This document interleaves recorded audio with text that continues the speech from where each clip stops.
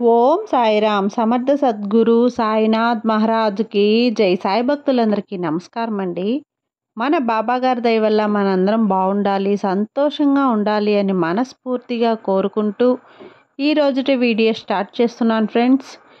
ఇక ఈరోజు వీడియోలో మనం చూడమేది ఏంటి అంటే తల్లి నీ దిగులు మొత్తం తీర్చేందుకు మెరుపు వేగంలోని మార్పు కోసం నీ కోసమే వచ్చాను తల్లి. నీకైన విషయాలు బాగు చేస్తానని. నీ మనసులోని బాధలు కష్టాలు అన్నింటినీ దూరం చేసి నీకు కావలసిన ఆనందకరమైన అద్భుతమైన జీవితాన్ని నీకు అందిస్తాను బిడ్డ. నా కష్టాలన్నీ తీరాయి.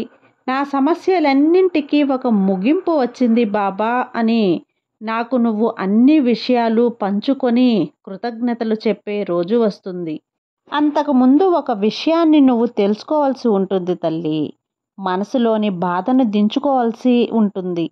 అందరికీ నీ కష్టాన్ని పంచుకొని అందరికీ నువ్వు మన వేదన కల్పించుకొని నీ మీద ప్రేమగా ఉన్న వారి గురించి తెలిస్తే బాధపడటం నిజమే కదా?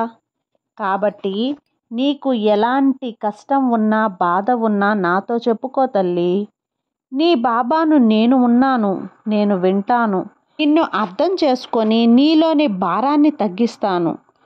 పరిగెత్తి పరిగెత్తి సంపాదించినప్పుడు దొరికిన డబ్బు ఏ పని చేసినప్పుడు అతుక్కుంటుంది. ఇదే మనిషి జీవితం. కష్టపడేటప్పుడు కావలసినప్పుడు ఏం దొరకదు. వద్దు అనుకున్నప్పుడు అన్నీ వచ్చి చేరుతాయి. ఇది ఎలా ఉంటుంది అంటే ఏదైనా కావాలి అన్నప్పుడు జల్లెడ పట్టి వెతికినా దొరకనే దొరకదు. కానీ అవసరం లేనప్పుడు మాత్రం ఈజీగా దక్కుతుంది. ఇదే మనుషుల జీవితం. కావలసినప్పుడు దొరికితేనే కదా సంతోషం ఉంటుంది. అందువల్ల నువ్వు కోరుకున్నవన్నీ నీకు అందేలా ఇస్తాను. మొదట నీ కోసం అన్నింటినీ చూసి చూసి చేసుకో. ఆ తరువాతే వాళ్ళ కోసం చూసుకోవచ్చు. సుఖమైన జీవితాన్ని జీవిస్తున్నప్పుడే కష్టాన్ని కూడా అలవాటు చేసుకోవాలి తల్లి. సుఖంలోనే కష్టం కూడా అలవాటైతేనే కదా.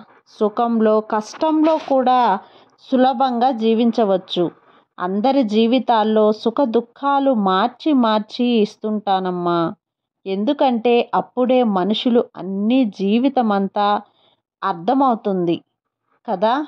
అలా కాకుండా ఎప్పుడూ సుఖాన్ని ఆనందాన్నే ఇస్తే ఎందుకు పుట్టాం ఎందుకు జీవిస్తున్నామనే విషయాన్ని మర్చిపోతారు. సుఖ జీవితానికి అలవాటు పడిపోయి ఆనందంగా జీవిస్తారు. ఇతరుల గురించి ఆలోచించరు. స్వార్థం ఎక్కువైపోతుంది తల్లి. అందువల్లనే సుఖాలు సమానంగా మార్చి మార్చి ఇస్తుంటాను.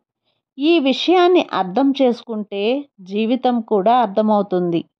నా బిడ్డ కఠినంగా ఉండడం కాకుండా కరుణతో ఉండాలి అన్నదే నా ఆశ. విజయం అనేది నీకు మాత్రమే సొంతమవుతుంది. కానీ కరుణ వల్ల భావితరాల వారు కూడా సంతోషంగా జీవిస్తారు. ఈరోజు కరుణతో ఇతరులకి చేసే సాయం నీ సంతతికి ఆనందాన్ని ఇస్తుంది. నువ్వు చేసే పుణ్యం నీ తలరాతకు చేరుతుంది. నీ జీవితంలో ఉన్న చిక్కులు సమస్యలు కష్టాలు తీరేందుకు నువ్వు చేసే పుణ్యమే సాధ్యపడుతుంది తల్లి. ఈరోజు కఠినంగా ఉండొచ్చు. రేపు ఇంకా కష్టంగా మారచ్చు. కానీ ఎల్లుండి మాత్రం ఖచ్చితంగా ఆనందంగా ఉంటావు. కాబట్టి ఇప్పటి కష్టాన్ని చూసి కృంగిపోవద్దు. సింహమైనా సరే పరిగెత్తి పరిగెత్తి పోరాడితేనే కదా తిండి దొరుకుతుంది. బంగారం కూడా వేడి చేసి కొడితేనే కదా మంచి నగలాగా తయారవుతుంది. అప్పుడే కదా దానికి విలువ కూడా పెరుగుతుంది. అలాగే నీ జీవితం కూడా అలాగే తీర్చిదిద్దాను.